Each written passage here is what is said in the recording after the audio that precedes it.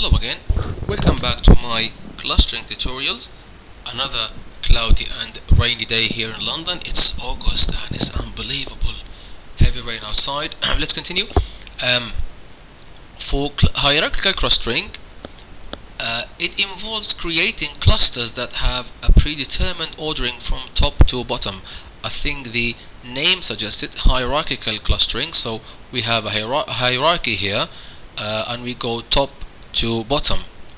For example, all files and folders on the hard disk are organized in a hierarchy and there are two types of hierarchical clustering, divisive and agglomerative.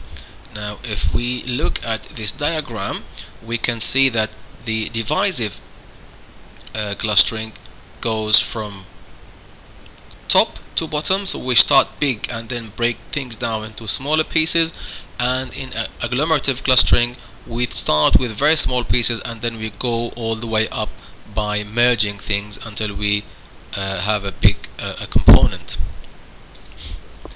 Divi uh, the divisive method the way it works is that we assign all the observations to a single cluster and then partition the cluster to two least similar clusters. So one big cluster and then we divide it into two least similar cluster. That means the dissimilarity needs to be high and this similarity needs to be low. This similarity needs to be high. Finally we proceed recursively on each cluster until there is one cluster for each observation. So there we split it into two and then we just go recursively. We divide each of those two using the same way and then we continue recursively until there's only one cluster for each observation. The agglomerative method is that we assign each observation its own cluster. So in a way it's the opposite of the previous one uh, or the opposite of the divisive we start with each component or each object or each observation. We give it its own cluster. Then we compute the similarity for example the distance between each of the clusters and we join the two most similar clusters. So we find the two most similar clusters.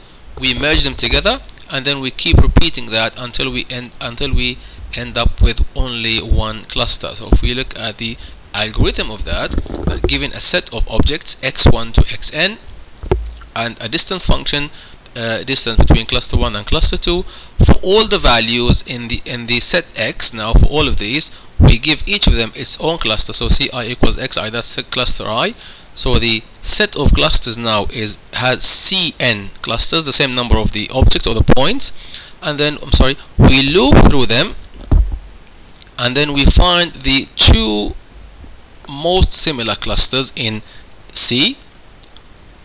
We remove those two similar clusters, we merge them, and then we add them to back to C, and then we continue looping until we remove all the clusters, and we end up only with one large um, cluster. I hope that makes sense. Just an idea of grouping or clustering things together. This is a very useful technique actually in programming. Now the proximity matrix. Before any clustering is performed, it's required to determine the proximity matrix containing the distance between each point using a distance function. The proximity matrix uh, is a symmetric matrix. So what we do is if we have let's say Cn cl n clusters then we have a matrix. The rows are cluster 1 cluster 2 cluster 3 all the way to cluster n and the uh, columns are C cluster 1 cluster 2 until cluster n and then we just fill in the matrix with the distances between each two clusters. And now you must have uh, noticed by now that the um, the matrix is symmetric uh, meaning that the numbers on the lower half will be the same as the numbers on the top half and the values along the diagonals are 0. So we use a distance function, then the matrix we update it to display the distance between each clusters, between each cluster. Now the following methods differ in how the distance between each cluster is measured. Now how do we measure the distance between two clusters? We have five methods.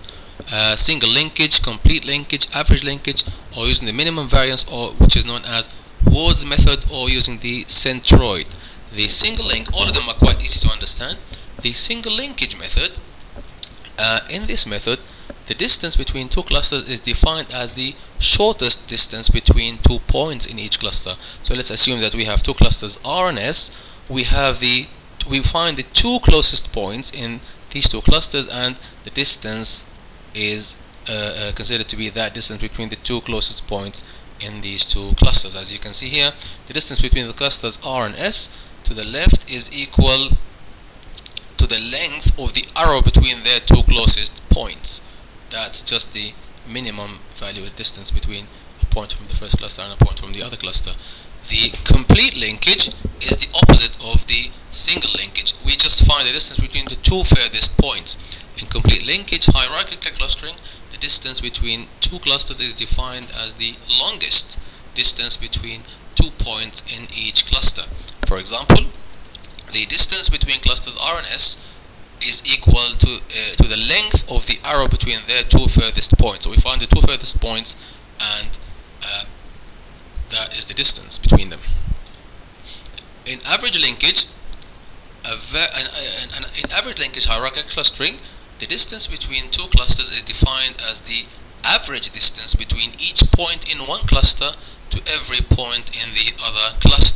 Example, the distance between clusters R and S is equal to the average between each arrow between connecting uh, each arrow connecting the point of one cluster to the other. So it's just the average as you can see here 1 over NRNS and S. NR is the number of points in cluster R NS is the number of points in cluster uh, S. The other two methods which are Ward's method and centroid method they're also quite simple. In Ward's method or the minimum variance, variance uh, method it uses the error sum of squares between the two clusters over all of the variables uh, uh, as the as the distance. So the sum of squares, I'm sorry, the error sum of squares between the two clusters over all the points or the objects or the variables is used as a distance, whereas in the centroid method, centroid usually known as the center of gravity or the center of the groups of objects, uh, is used to determine the average distance between clusters of objects. So if we go back to any of these examples, instead of using the furthest or the closest points, we find the centroid of this group, the centroid of this cluster, and centroid of this cluster, and the distance is considered to be the distance between those two uh, uh, values of the centroid. I'm going to stop here. Thank you very much again for watching, and I'll see you in my next video.